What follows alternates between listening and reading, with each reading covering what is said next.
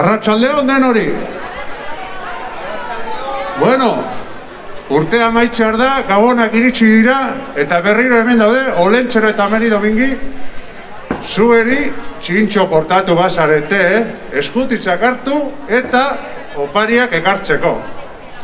Urten ere, e, ezin dugu aurrek urtetan bezala e, bueno, zuen gana urbildu, zuek besarkatu, zuen eskutitzak ezin izan dugu orain arte jaso, baina lasai, orain igoal izango duzue eta zuen eskutitza jasoko ditugu, bai?